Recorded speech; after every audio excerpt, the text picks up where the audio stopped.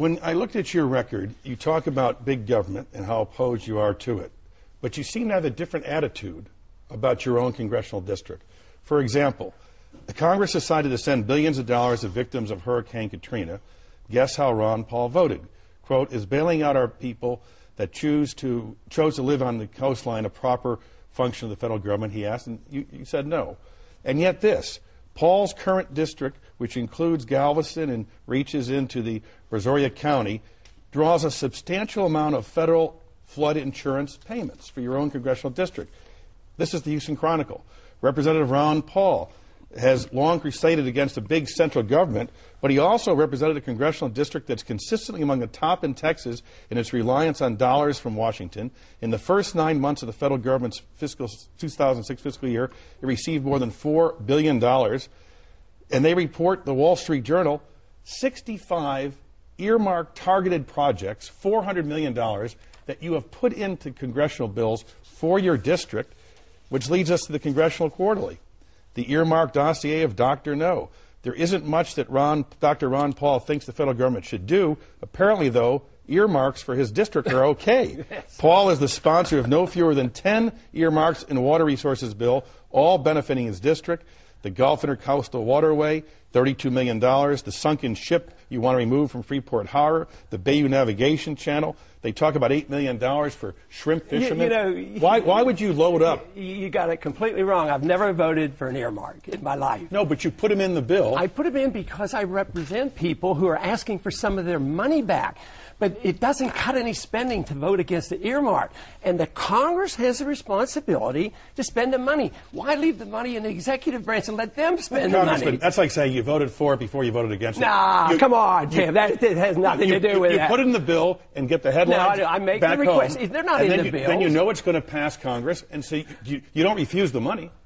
Well, no, of course not. It's like taking a tax credit. If you have a tax credit, I'm against the, the tax system, but I take all my tax credits. But if you I want to get their money back for the people. You would say no pork no, spending. No, no, that's district. not it. They steal our money. That's like saying that people shouldn't take Social Security money. For I don't advocate that. All right, let me I try to save the system, make the system work. Let me ask now you I think you have it all mixed uh, up. Well, you're it's, confused. It's all facts. It's you're, you're confused. This is the Wall Street Journal. you load up the bills with special projects. I, they, none of, no, no, you, you don't. Do. You, you do. Don't. You deny that you have you have How many of them ever got passed? But the whole point is, is we have a right and an obligation. They pass. You vote against look, them, but look, you take Tim, the money. You don't quite understand. Okay. They take our money from us and the Congress has the authority to appropriate, not the executive branch. And I'm saying that I represent my people. They have the request. It's like taking a cra- tax credit, and I put it in. The whole process is corrupt. All right, let me ask so you that. I vote against everything. But it I vote against it, so I don't endorse but, the system. But when it passes overwhelmingly, you take the money back home. I don't take it. That's the system. I'm it's trying to change that system. To turn it around and say I'm supporting the system, I find it rather ironic and well, entertaining. when you stop taking earmarks or putting earmarks in the, in the spending bills, then I think you'll be consistent. Let me ask you about this. Term, when, when term, let me ask this. Term, term limits. You ran on term limits. I think we should have term limits for our elected leaders. You've been in Congress 18 years. But I never ran on voluntary term limits. There's a big difference. I didn't sign a pledge for a voluntary term limit. Matter of fact, some of the best people that I worked with, who were the most principled, came in on voluntary term limits. Some of them broke their promises, and some didn't, and they were very good people. So some of the good people left.